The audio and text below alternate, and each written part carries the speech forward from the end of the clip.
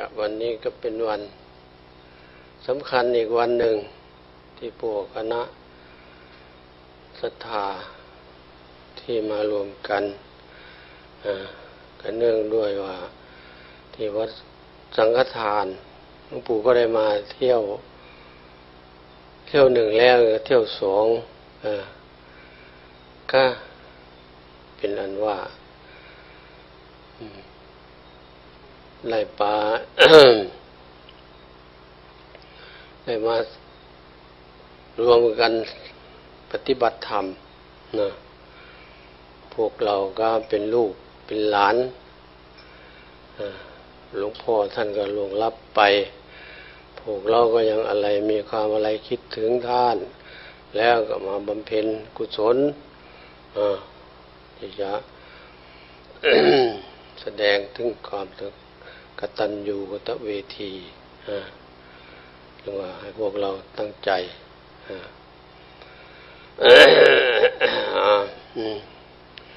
นะโมตัสสะภะคะวะโตอะระหะโตสัมมาสัมพุทธัสสะนะโมตัสสะภะคะวะโตอะระหะโตสัมมาสัมพุทธัสสะนะโมตัสสะภะคะวะโต อระหะโต สัมมาสัมพุทธัสสะทุกกาอุทระทัตตานัง ปังเกสันโนวกุลสโรหิมัสสะธรรมะปริยายัสสะสาธาสมันเตนะตะกัจจังธรรมโมโสตโบตีตัวนี้ไปอะ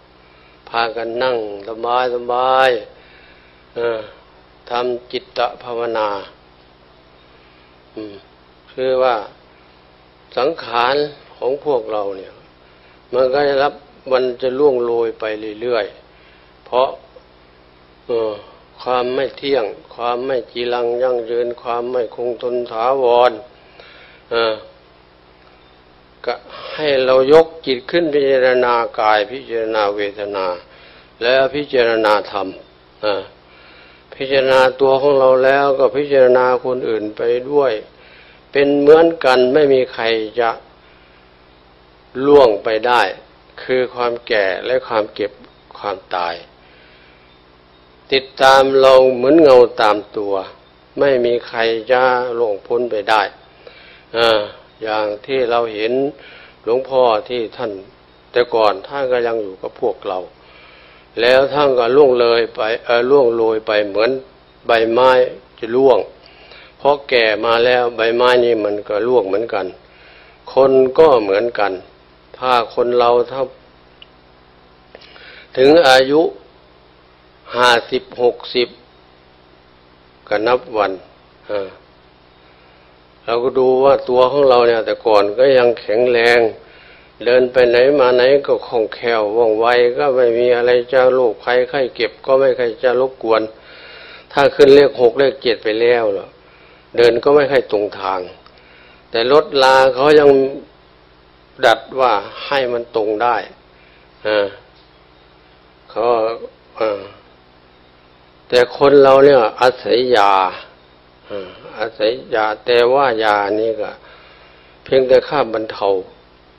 ยาบรรเทาไม่ใช่ว่าจะจะทำให้เราเออไม่ตายได้ ไม่มียาไม่ตายไม่มี หมอถึงบอกว่าเออ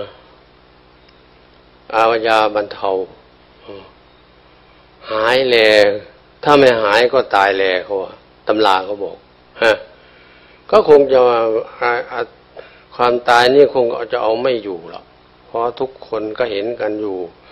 แต่ว่าความตายเนี่ยมันตายอยู่ทุกเมื่อเชื่อวันแล้วตายปกปิด อย่างพวกเราเนี่ยก็ตายกันอยู่ทุกลมหายใจเข้าออก หายใจเข้าไม่ออกมันก็ตาย หายออกหายใจเข้า หายใจออกไม่เข้ามันก็ตาย อันนี้ท่านถึงบอกว่าให้พิจารณาความตายเป็นอารมณ์เพราะว่า พิจารณากายหรือว่าพิจารณาลมยกจิตขึ้นพิจารณาโซสุตวานิกยกจิตขึ้นพิจารณาลม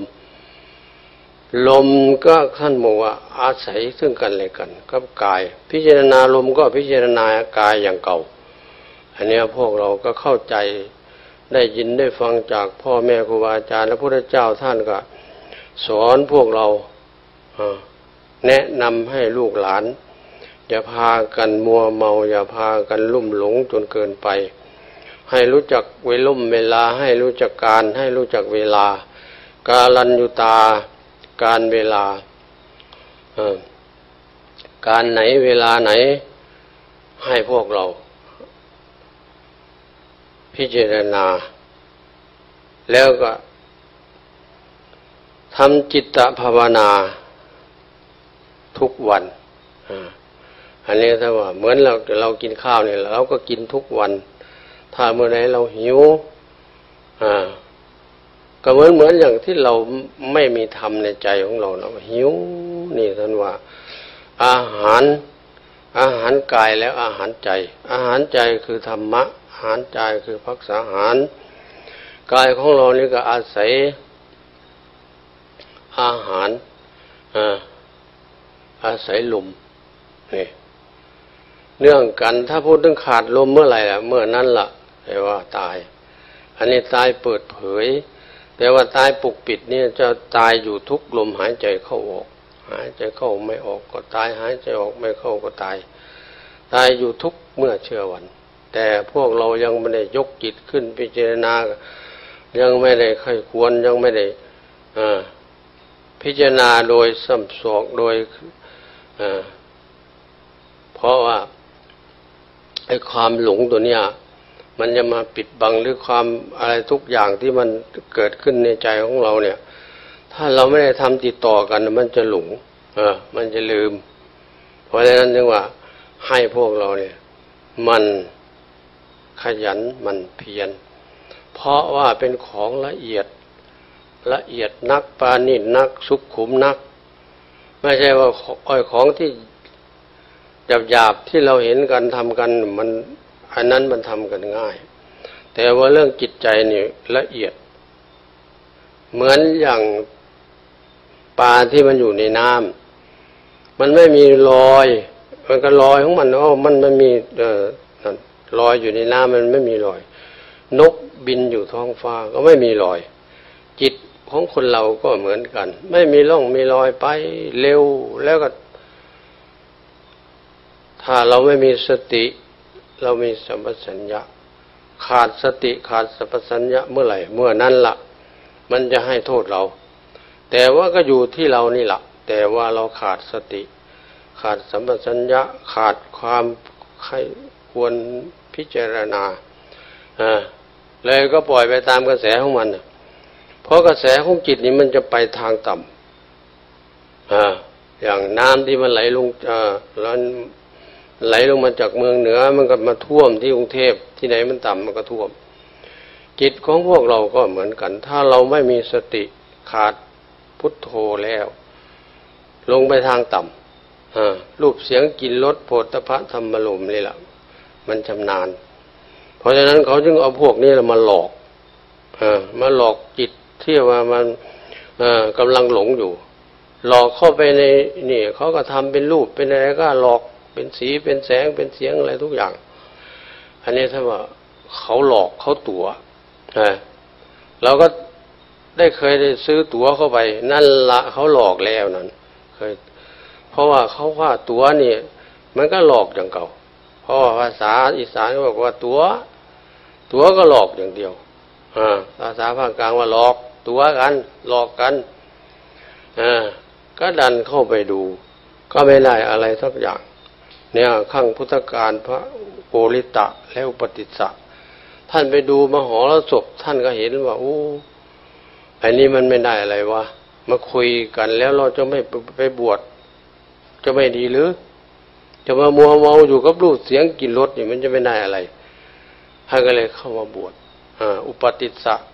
โกริตะอุปติสสะพระโมคคัลลาสารีบุตร อันนี้แต่ขั้งพุทธการแต่ว่า ตอนหลังมาท่านก็ได้สำเร็จ ท่านก็ได้ดวงตาเห็นธรรม อันนี้พวกเราเป็นลูกเป็นหลาน เหลนร้อนหลอน ได้ยินได้ฟังมากันจนเออครูบาอาจารย์ท่านก็แนะนำอ่านหนังสือในตำราบ้าง ก็เข้าเอเข้าใจอยู่ แต่ว่ายังไม่ชำนาญ นี่ ความชำนาญนี่แหละท่านว่าถึงว่าทำให้พวกเราเข้าใจง่าย แล้วก็รู้ง่าย อย่างเราเรียนหนังสือนี่ เราไปเรียนจากครูจากอาจารย์ที่โรงเรียนเราก็มาขบมาคิดมาเขียนมาอะไร เราก็ชำนาญสามารถที่จะเขียนด้วยตัวเองได้ อันนี้ก็เหมือนกันที่แรกก็ได้แนะนำจากพ่อแม่ครูบาอาจารย์ถ้ามาสอนมาบอกมาเล่ามาเรียน เราก็ไปคบคิดมาไปพิจารณาเอาเอง ไม่มีใครจะทำให้กันได้ เพราะว่าตัวใครตัวมัน อืม เพียงแต่บอกกล่าวเขากันเท่านั้น เออ ใครก็ตกอยู่ในแอ่งแก่งกันดานทุกคนชาติทุกชลาทุกมรณะทุกอ่าไม่มีใครจะพ้นภัยตัวนี้ไปได้พยามัจจุราชนี่จะตามล่าเราเสมอ ถ้าเราพลาดเมื่อไหร่หรือว่าเผลอเมื่อไหร่เชือดคอเมื่อนั้นเนี่ยอย่าง ที่เราเห็นกันอยู่อ่าบางทีก็รถชนบ้างอะไร ทุกอย่างอะทุกทุกวันนี่มันรถมันก็เยอะอ่าคนก็ที่เราไม่ชนเขาเขามาชนเรา ที่จริงเนี่ยมันก็อ่าอุบัติเหตุทุกวันมันอ่ามันที แล้วมันก็มีกันทุกวัน พวกข่าวเขาก็ลงกัน เพราะว่าความตายไม่มีใครจะบอกได้ แล้วก็มีใครจะรู้ว่าจะตายเมื่อไหร่ อันนี้ท่านว่า อย่าพากันประมาท อย่าพากันมัวเมา อย่าพากันลุ่มหลงจนเกินไป ให้พากันแสวงหาคุณงามความดีให้แก่ตัวของเราไม่มีใครหาให้กันได้ มีแต่เราคนเดียว เกิดเราก็เกิดมาคนเดียว ตายเราก็ตายมาคนเดียว ไม่มีใครมาตายเปลี่ยนเราเลย ไม่มี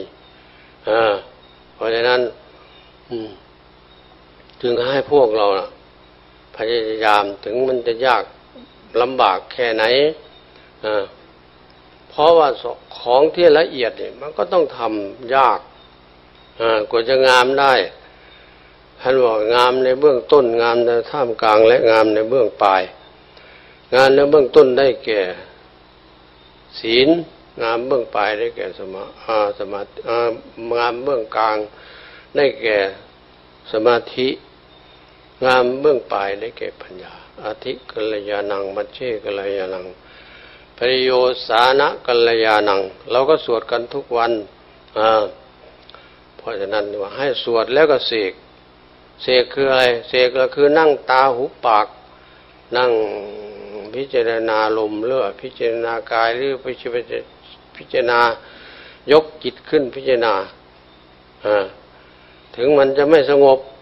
ถ้าเรานั่ง ก็ยังดีกว่าเราจะปล่อยให้มันไปตามกระแสของมันถ้าเรามีสติเราดึงมันมามันจะไปอะไร ไปไม่มีประโยชน์ ไม่เห็นได้เกิดประโยชน์อะไร สงบกาย สงบวาจา สงบใจ ต่างต่างผู้ที่ต่างมุ่งในทางสงบความสงบนี่แหละมันว่าวิเวกกายวิเวก จิตตวิเวก วิสุทธิวิเวก ถ้าเรามาวิเวกแล้วเราจะมองเห็นในตัวของเราเพราะว่าให้ภาวนา ให้ทำจิตตะภาวนา ก็คือยกจิตขึ้นพิจารณากาย พิจารณาเวทนา และพิจารณาธรรม อันนี้เป็นที่โคจรของจิตถ้าเราอยู่สถานที่ไม่ วิเวกคุกคี จิตใจเราก็บุ่นวายทำอะไรก็ไม่เคยจะเป็นชิ้นเป็นอันนี่มันว่า มันเป็นวิวุ่นอ่ามันมีอยู่สองอย่าง วิเวกกับวิวุ่นเพราะฉะนั้นจึงว่า สมัยพ่อแม่ครูบาอาจารย์ท่านออกวิเวกตามป่าตามเขาที่ไหนสงบสงัด ป่าช้าบ้างที่ที่ถ้ำที่อะไร ท่านออกวิเวกออกพรรษาเนี่ยท่านพาไปวิเวก ไปสถานที่สงบสงัด อันนี้เป็นทำให้จิตใจเราเปลี่ยนเปลี่ยน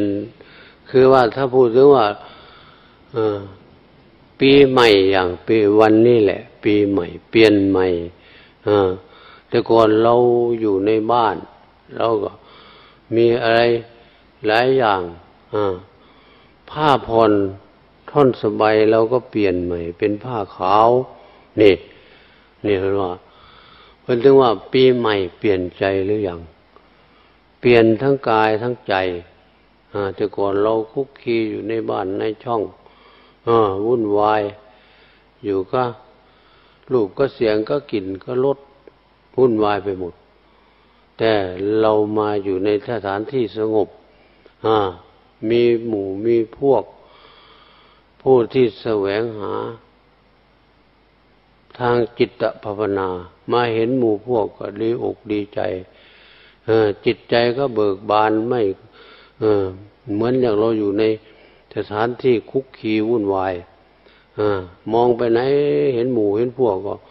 สบาย อันนี้เป็นว่าจิตตะวิเวก ถ้าเราทำไปเรื่อยๆ แล้วก็เป็นนิสัย เป็น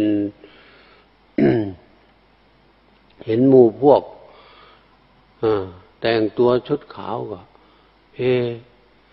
เราก็มาพิจารณาดูว่า เออหมู่พวกทำไมถึงทำได้ เราก็เป็นคนเหมือนกันทำไมถึงทำไม่ได้ ใจมันก็เลยเปลี่ยนแล้วไม่อยากจะอยู่แล้วอะที่สถานที่บ้านเนี่ย มันวุ่นวายเออยากจะมาอยู่ที่สงบสงัด อยู่ก็หมู่ก็สงัดอยู่ก็พวกคนเดียวก็สงัด เพราะว่าจิตมันชอบอืมวิเวกอ่าท่านั้นครูบาอาจารย์ท่านอยู่ในป่า อยู่องค์เดียวท่านก็อยู่สบาย ไม่ต้องไปนี่ก็เป็นสถานที่ไม่ใช่สวยงามอะไรก็อยู่ในป่าในเขาในสถานที่ ป่า อยู่ในร่มไม้ในถ้ำได้ยินเสียงสัตว์ป่า มันร้องเอออย่างหน้านี้ก็พวกหมาป่า มันร้องอมันหอนมันเห่า มันไม่เหมือนสัตว์บ้าน สัตว์บ้านเนี่ยมันลำคาญ สัตว์ป่านี่มันจะทำให้จิตใจของเราเนี่ยเยือกเย็น อย่างพวกเสือพวกช้างพวกอะไรเนี่ยแต่ก่อนเออ เสือสร้างมันยังชุมทุกวันนี้ไม่ค่อยจะมี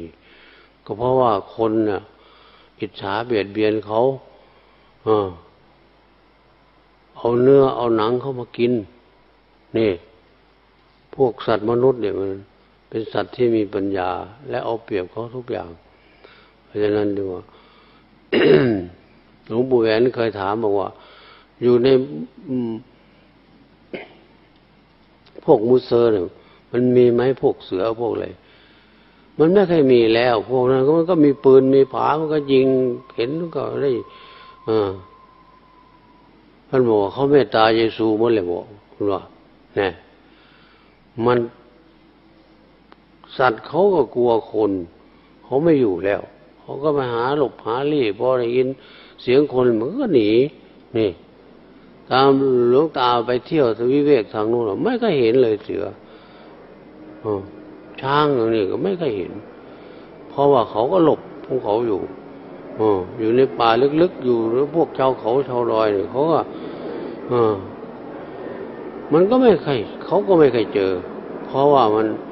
ส่วนมากมันก็หนีนี่แหละ ไปหาอยู่ที่สงบสงัดเหมือนกันเพราะว่าสัตว์มนุษย์เนี่ยมัน โอ้ มันอันตราย พอเห็นมันก็วิ่งเข้านั่นเลย ไม่ใครจะนี่เพราะสัตว์มนุษย์มันมีอาวุธเขาอาศัยฝีตีนหนีเขาจริญเปิดเปิงไม่อยู่ เพราะว่าเขาก็กลัวตาย สัตว์ทั้งหลายทั้งปวงกลัวตายหมด ไม่มีใครจะไม่กลัวตาย แต่ว่า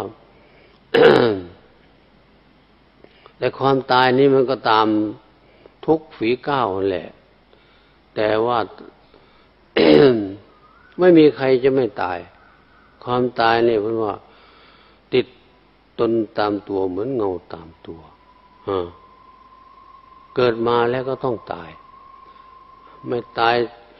ถ้าก็ตายเร็ว นี่แล้วก็เห็นกันอยู่หนังสือพิมพ์เขาลงกันทุกวันแล้วความตายนี่นี่ แต่ว่าพวกเราเนี่ยก็ตายเหมือนกัน แต่มันตายปุกปิด ไม่ใช่ได้ตายอย่างที่เขาเนี่ย บางทีก็ถูกรถชนรถอะไรตายหงตายหา ตั้งสมัยตะกอนน่ะเออไม่เคยมีขับเป็นลมเป็นนี่เข้ามาก็ว่าอ่าลมมัน นี่ เพราะว่าคนตายทางนู้นตรงนี้ทุกวันนี่มันลมมันก็ไม่นี่แล้ว มันตายกันทุกวัน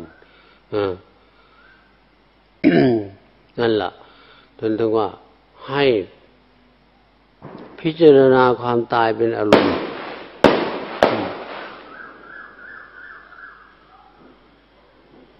ทำไมถึงว่าให้พิจารณาความตาย เพราะว่าถ้าเราไม่พิจารณาหรือว่าไม่มันประมาท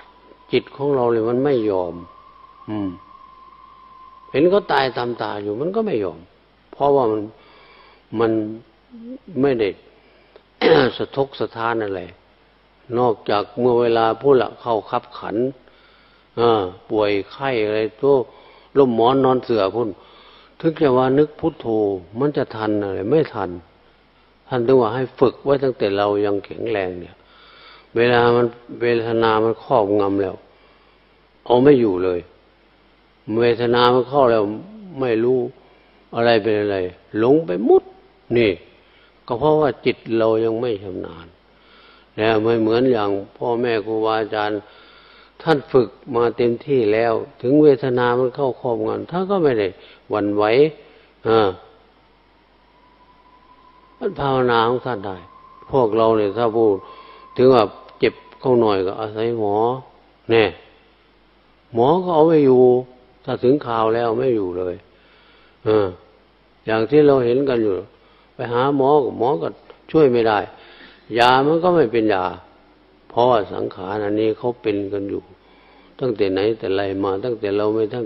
ยังไม่เกิดพุ่นก็ เป็นอยู่อย่างนี้แหละ ไม่มีใครจะไม่นี่แต่ว่ารอคิว อายุขึ้นเลขสี่เลขห้าแล้ว นับแต่วันอ่าเดี๋ยวก็เจ็บขา เจ็บหู เจ็บตา เจ็บเนี่ย ความเจ็บนี่มันจะมาตั้งแต่แม่เราหดเจ็บก็คือเวลาต้องออกมาหดเจ็บจนว่าอ่าไม่ธรรมดาความเจ็บนี่มันตามมา แล้วมันก็มาต่อมาก็เป็นแก่แล้ววะนี่ แก่ก็ค่อยแก่มาเรื่อยๆ ถ้าพูดทางอีสานเขาเรียกว่าแก่ แก่ก็คือลากละภาษาว่าลากมาลากมาจนเรานั่งอยู่นี่แหละลากมาเรื่อยๆนี่แหละ แล้วเวลาเรามองดูในกระจก เอา้าดูมันก็เหี่ยวมันก็ย่นไปมดแล้วหัวมันก็เป็นสีขาวๆแต่ก่อนเป็นสีดำแน่แสดงว่ามันแก่แล้ว ความแก่เนี่ยมันเร็วเออมันเร็ว ถ้าพูดถึงว่าเราจะมาคำนวณ มันถึงจะรู้ว่าเราแก่ ถ้าเราไม่ได้คำนวณไม่ได้คิด ไม่รู้จักว่ามันแก่ตั้งแต่เมื่อไหร่นี่ เพราะว่าความหลงตัวนี้มันปกปิดทำให้จิตของเราเนี่ยมัน อืม มืด มืดมิด มืดบอด นั่นแหละเป็นถึงว่าให้มันเจริญ เจริญจิตตภาวนาเนี่ย จะทำให้จิตใจของเราเนี่ย มันจะรู้ขึ้นมา พิ่นถึงว่า ปัจจตังรู้ได้เฉพาะตนเพราะว่าทุกคนมันก็มีกันอวัยวะทุกอย่าง มีกันทุกคนผมบนเล็บฟันหนัง มีกันทุกคนออไม่มีใครตาเพียงแต่ชื่อเท่านั้นนะมีกันทุกคน แต่ว่าเราไม่ได้อูปนัญิกูไม่ได้น้อมพิจารณาเห็นว่า ตัวเห็นแต่คนอื่นเขาตาย ตัวเองก็ไม่ไม่ไม่ได้คิดว่าตัวเองจะตายเนี่ยมันประมาท จิตตัวนี้มันประมาท เพราะฉะนั้นท่านว่าให้มันยกพิจารณาอยู่เสมอยกขึ้นพิจารณากายกายนี่ก็สักว่ากายเป็นของไม่เที่ยง ไม่จีรังยั่งยืนเป็นของไม่คงทนถาวร เป็นของไม่สวยไม่งามฮะแล้วก็แก่เดี๋ยวก็เจ็บ เดี๋ยวก็ตาย ทุกครั้งอันนี้จังอันนั้นตายตามเราอยู่เสมอ แต่ว่า ถ้าเราห่างเมื่อไรล่ะ ความหลงมันก็เข้ามาเมื่อนั้นแหละถ้าเราพยายามอยู่ ก็ค่อยไล่ออกไป ความหลงก็ค่อยอห่างออกไป ถ้าเราเผลอเมื่อไหร่มันก็เอาเมื่อนั้นนี่เป็นเรื่องว่าอย่าประมาท ความประมาทเป็นทางแห่งความตาย ผู้ประมาทแล้วเหมือนคนตายแล้วแต่ว่าเราพยายาม พยายามทำขี้เกียจก็ทำขยันก็ทำเนี่ยทำเพื่ออะไร เพื่อให้มันชำนาญ ความชำนาญพอแล้ว ไม่ต้องไปถามคนอื่นเลย แต่ว่าพวกเราไม่ ยังไม่ชำนาญเนี่ยมันก็รุ่มรุ่มรอนรอนหลงหลงลืมลืมอยู่นั่นแหละเป็นกันทุกคนเลยแหละเพราะว่าความชำนาญไม่พอ ถ้าความชำนาญพอแล้วเข้าใจเลย เพราะว่า พระพุทธเจ้าท่านก็บอกแล้วว่า เออ ความแก่ความเก็บความตายเนี่ย ติดตนตามตัวเหมือนเงาตามตัวเนี่ยถ้าเราย้อนหลังขึ้นเข้าไปตั้งแต่สมัยที่เรายังเป็นเด็ก คนนั้นก็ตายคนนี้ก็ตายญาติตาย ตายกันอยู่เรื่อยเนี่ยต่อมาก็จะเป็นเราเลยบ่อยหมายเลขหนึ่งแล้วพวกเรา แต่ว่ายังไม่ถึงคิว ถ้าถึงคิวเราเอาไม่อยู่เลยอ่าเป็นตามตามธรรมชาติ เป็นธรรมดา เพิ่นถึงบอกว่าให้สวดมีความแก่เป็นธรรมดา ความเจ็บเป็นธรรมดา ความตายเป็นธรรมดา สวดทุกวันทุกวัน พื่อจะให้มันชำนาญเออ ไม่ให้ประมาทนี่เป็นว่าเพิ่นเปรียบเทียบเหมือนแม่น้ำที่มันถูกแสงแดด แม่น้ำมันก็ค่อยเหือดแห้งไป วันคืนย่อมผ่านไป ชีวิตก็ต้องค่อยๆเสื่อมไป สังขารก็ค่อยหมดไปเรื่อยๆ เพิ่นเปรียบเทียบเหมือนแม่น้ำที่มันจะถูกแสงแดดค่อยเหี่ยนแห้งไปเรื่อยๆนี่ นับวันเราแต่ก่อนเราก็แข็งแรง เดินไปไหนมาไหนก็สะดวกสบาย แต่เมื่อเวลาเราแก่ อาศัยไม่จะกระเท้า อาศัยนี่ก็เพราะอะไรก็เพราะมันหมดสมรรถภาพ ร่างกายสังขารนันนี่มันค่อยหมดไปความแข็งแกร่งไม่รู้ไปไหนก็ไม่รู้นั่นแหละเพราะฉะนั้นให้พวกเรา มันเจริญทานศีลภาวนาเป็นว่า ก็จะพาพ้นสุขเออพ้นทุกข์สุขนิรันดร์อันเนี้ยถ้าเราทำไปเรื่อยๆทำอยู่เป็นนิดทำประจำสวดแล้วก็เสกเสกแล้วก็สวด ส่วดก็เสกเราทำอยู่ประจำแล้วก็ชำนาญอย่างที่เราสวดนี่แหละทีแรกเราก็ไม่เข้าใจ อย่างที่เราไปเรียนหนังสือก็ครูก็นั่นทีแรกเราก็ไม่รู้จักขอไก่ขอไข่เมื่อเวลาเราฟังไปเรื่อยๆค่อยฟังค่อยนี่ไป ค่อยว่าตามไป มันก็ค่อยชำนาญไป นี่ อย่างที่เรามาวัดนี่แหละมาทีแรกก็ไม่ค่อยชำนาญ เออ มาเห็นหมู่เห็นพวก จิตใจมันก็ดึงดูดเข้าไป เอ๊ะ หมู่พวกคือทำได้ เราทำไมถึงทำไม่ได้ เอาไปมาก็เลยเป็นนิสัยเป็นปัจจัยอยากจะมาถือศีลอยากจะมาเจริญภาวนาก็หมู่พวก นี่แสดงว่า เราเปลี่ยนแล้ว ปีใหม่นี่เราเปลี่ยน เปลี่ยนจะตรงตรงเป็นผ้าลาย แล้วก็มาเปลี่ยนเป็นผ้าขาวนี่ก็งามอะนี่งามเบื้องต้นแล้วงามผ้ามกลางแล้วงามเบื้องปลายนี่ ผ้าขาวเนี่ยสะอาด แต่ใจของเรายังไม่สะอาด เราก็พยายามขัดขัดด้วยอะไรขัดก็ด้วยศีลด้วยสมาธิ นี่แหละ ถึงจะได้อืม ถ้าเราปล่อยให้มันดื่มมันก็อยู่นั่นแหละ กิเลสมันก็เข้าครอบงำของเราอยู่เสมอ ความโกรธความโลภความหลงเนี่ยมันเข้าง่าย และมันออกยากกว่าจะเราจะนั่งเป็นชั่วโมง มันก็ยังหาเรื่องที่จะดึงลงไปทางไม่ดี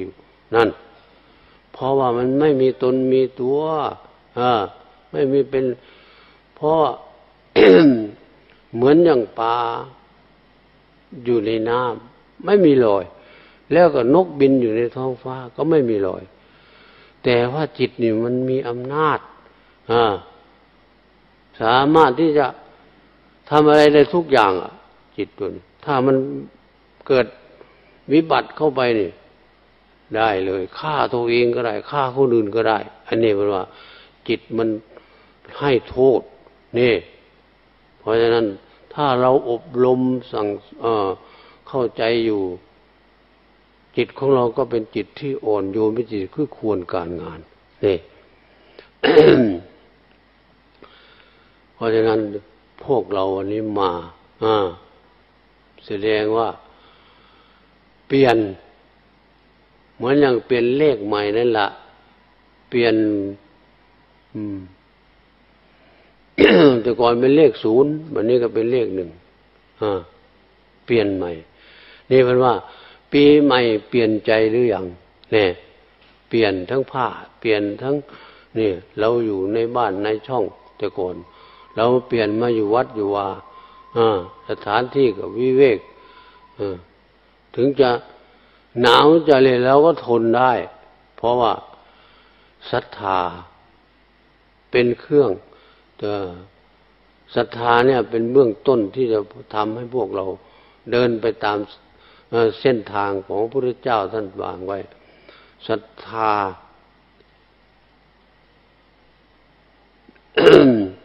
ตอนที่จะเข้าไปบวชถือผ้ากาสาวพัดเข้าไปหาอุปชา อุปชาท่านก็บอกว่า เธอมีศรัทธามีความเชื่อในพระพุทธศาสนา ถือผ้าสากาสาวพัด เข้ามาขออุปชาอุปสมบทนะนะเบื้องต้นก็คือศรัทธาที่เรามาเนี่ย เราเข้ามาในวัดเนี่ย เราก็มีศรัทธามีความเชื่อในตัวของเราอะต้องทำต้องได้นะนั่นแหละ ความเชื่อตัวนี้แหละเป็นว่าเป็นต้นทุนอันสำคัญ เพราะฉะนั้น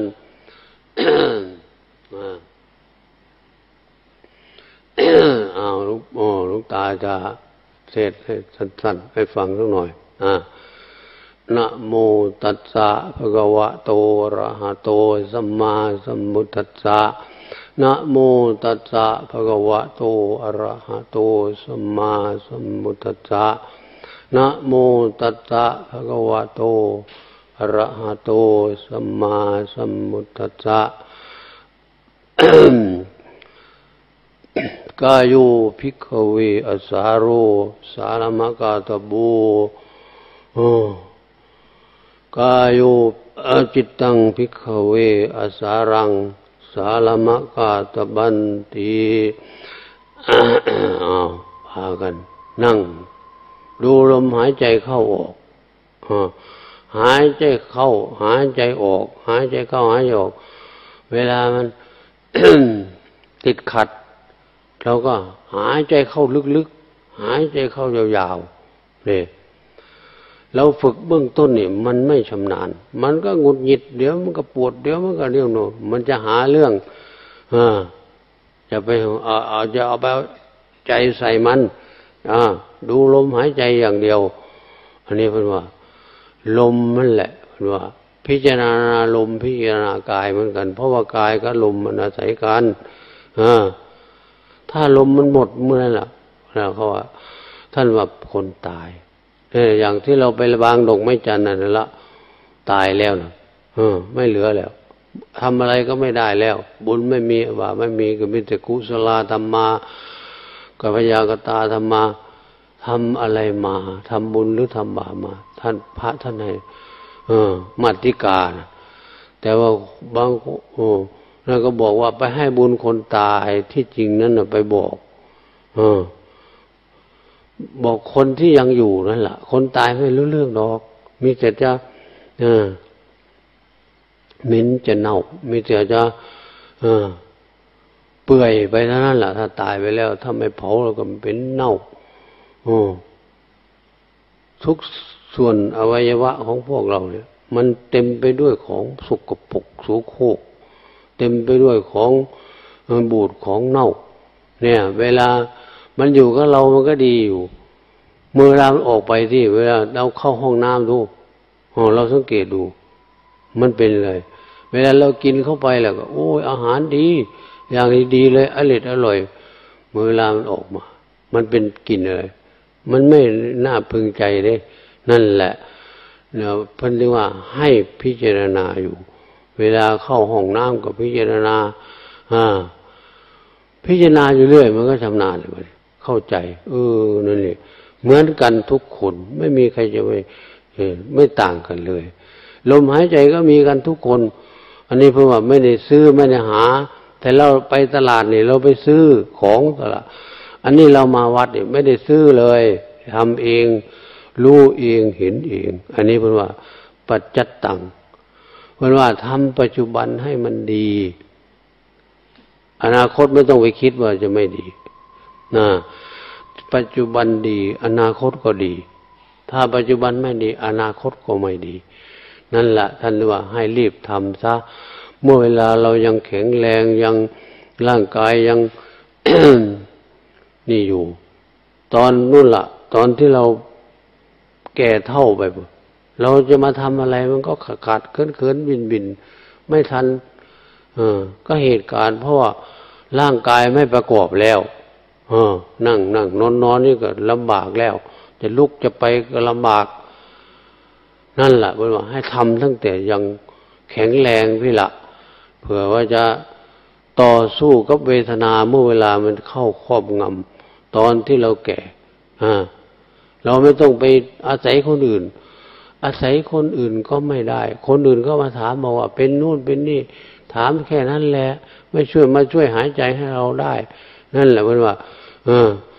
นี่มันว่า อัตหิอัตโนนาถูโกหินาถูปโลสิยา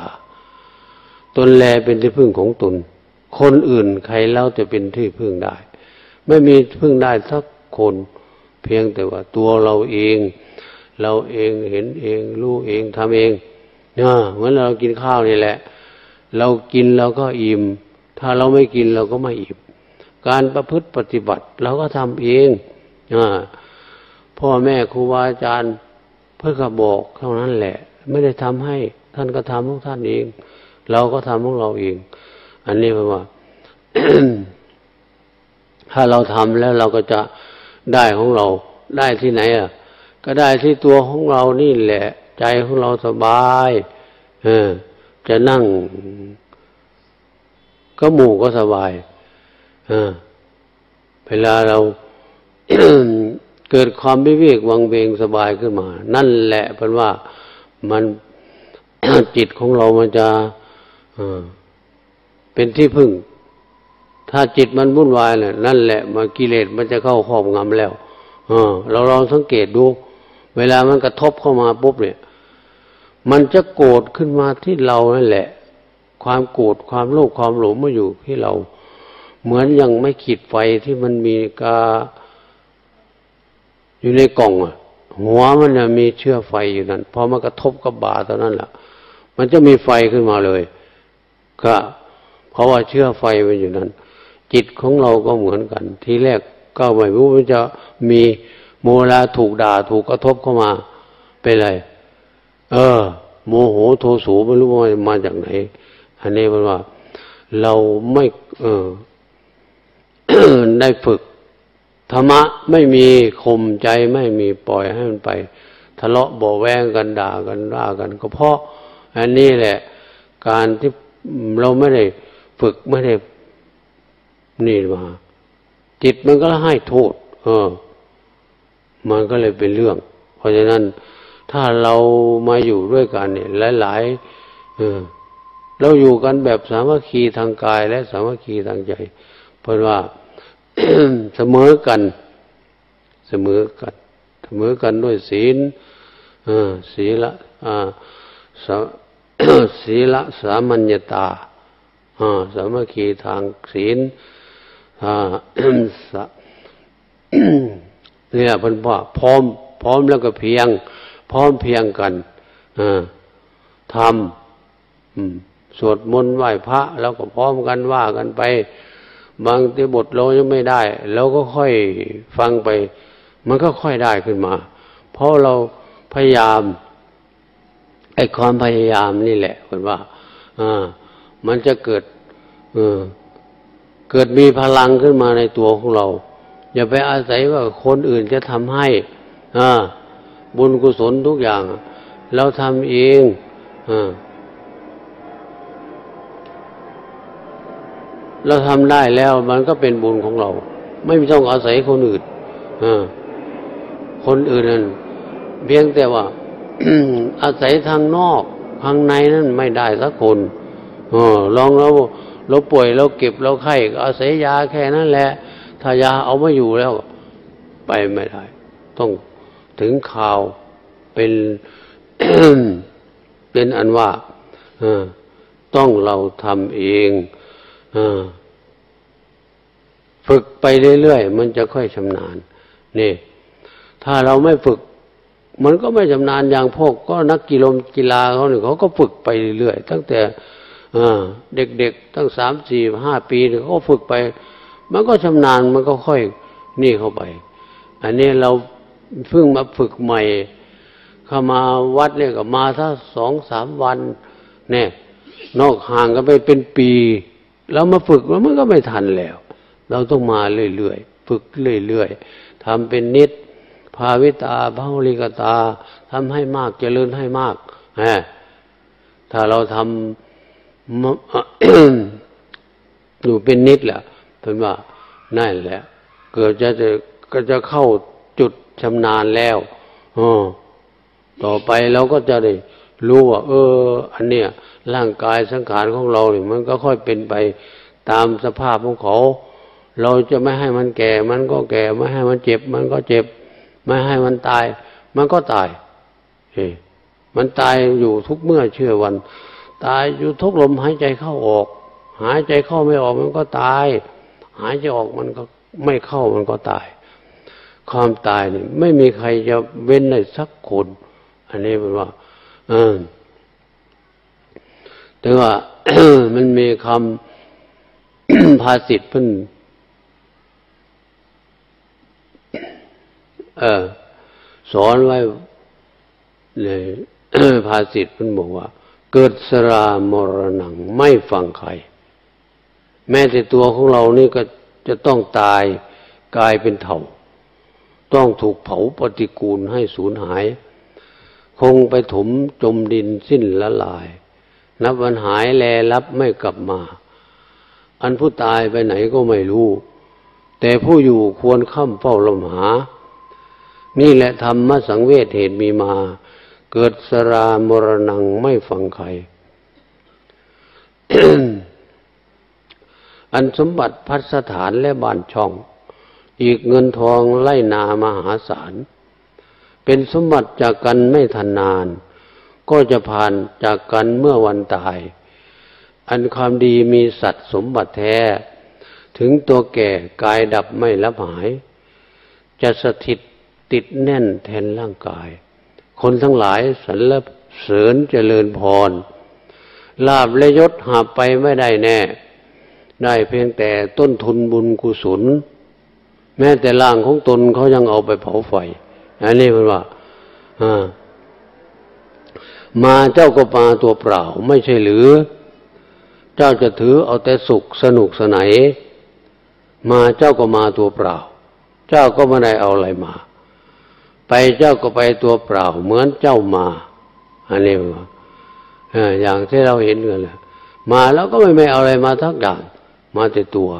ไปก็ไปแต่ตัวอย่ามัวหลงหรออย่าพะวงตัวตัณหาจะพาเฉียว